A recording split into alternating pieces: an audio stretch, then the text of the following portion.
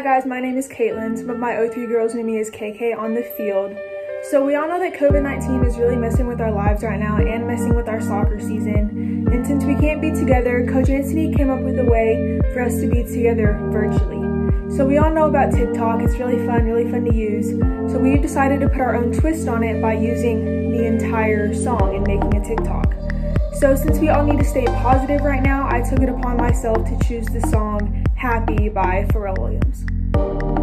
Since this adversity is affecting a lot of us mentally, we really need to remember that we can still stay connected with our friends and family and that we can still stay positive, which is what which is the whole point for us doing this.